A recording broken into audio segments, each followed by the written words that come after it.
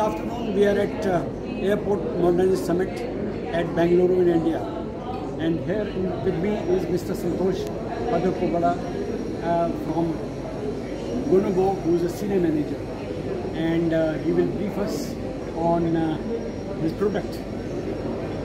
Over to you, Mr. Santosh. Thank you, thank you. Welcome to our uh, stall. Uh, is an uh, Swedish multinational established in the year 1764 and uh, we have been in India since uh, 1905. It's almost more than uh, 100, 100 years that we have presence in India and uh, specifically in airport segments, uh, Gunnebo manufactures uh, entrance control and people management uh, solutions which are used right from uh, the land side to air, air side, uh, predominantly uh, facilitating the entrances and also uh, uh, rejuvenating the airport's environment by providing touchless solutions and automated solutions.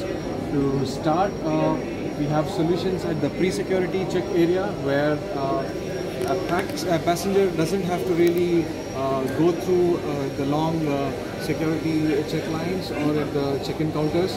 You can have your boarding cards printed on your phone via QR, co- QR code and then you can automatically use our gates to enter the facility and then enter the pre-security area. And post entering the pre-security area, you can also enter the lounge area or the retail area.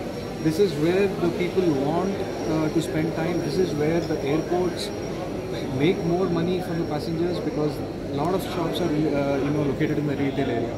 Uh, without automation, you will find people running from uh, point A to point B just to be in the flight. But when you automate uh, uh, at such levels at each uh, security post, you are actually giving more time to the passengers to spend time at the airport, make more purchases, which increases the revenues indirectly to the airports. So that is the main facility, provided by our gates. Uh, then we go to the uh,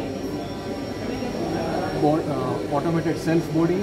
Uh, typically, when you reach the boarding gate, you would see the flight attendant, attendants taking your boarding cards and then they flash it against the readers, they give it to you, and then there's a huge line waiting for uh, which is fully fully uh, queued up uh, until the aero bridge. So if you want to really avoid that, you can place the boarding gates at the uh, at the boarding entries and make it completely automated. By making so, airlines can uh, board the passengers much quicker compared to the manual check, which means that the uh, planes which are stationed at the airport uh, at a lesser time, which means that they don't have to pay more rents to the airport. So it is an advantage to the advantage to the airlines uh, too. Apart from that, and uh, then we also have immigration. Uh, typically in immigration you have manned entrances. The immigration officers use the passports, uh, they stamp physically and then they let you go. But if you use our uh, automated immigration, immigration gates, it is a completely touchless experience. Uh, it is a digital stamp that is provided on your passports. Uh, the processing time uh, varies between uh, uh, 15 to 20 seconds compared to at least uh, one minute, uh, which is spent on each uh, passenger upon arrival into a country or departure from a country. So a key, key criteria is to automate the immigration entrances, and then we have anti-return gates where you typically find if a person wants to exit the airport and by some means he is again entering the airport, you will have to have CISF guards uh, positioned at every entry. That is a cost to the airport. So if you want to use CISF guards at a uh, different entrance uh, or for a different purpose, you can install the pre, uh, anti-return pass gates to make it completely automated. So this is the typical range that Gunnebo has and I will show you how automatic face boarding can be achieved via this gate.